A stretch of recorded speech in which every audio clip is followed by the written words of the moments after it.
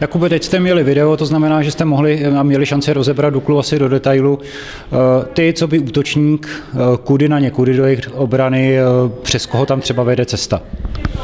Tak přes vede cesta, já nevím, no. My jsme teď koukali na to video, vlastně to je silný kombinační tým, který hraje po zemi, nebojí se kombinují prostě dobře, no, musíme být na blízku, musíme presovat, napadat a snad z toho vyplyne nějaká šance a musíme ji potrestat.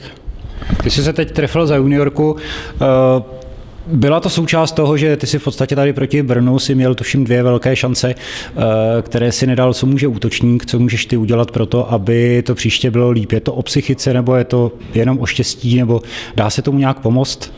Tak já si myslím, že je to hlavně o psychice, že když se vlastně trefíte, tak vám se zvedá sebevědomí a je to každý zápas od zápasu lepší a prostě když ty goly tam padají, tak to tam prostě padá. No. Když se tam pětkrát se netrefíte třeba, tak už je ta psychika špatná a už vlastně i vyloženou šanci nemusíte dát. No. Jako já třeba teď proti Brnu.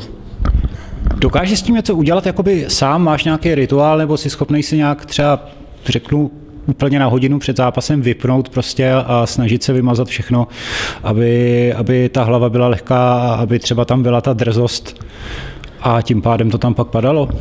Tak já s tím vlastně, já se připravuji na každý zápas stejně, na tréninkách se snažím proměňovat všechny šance, no tak ale Vlastně teď, jak s tím Brnem jsem běžel sám na golmana, mi to skočilo, já jsem to chtěl dát plackou podle něho a prostě jsem to překop, no, to je jasný gol, ale na hřiště se vymluvat nemusím, ale prostě jsem tohle měl dát a tohle se musí dávat prostě, no.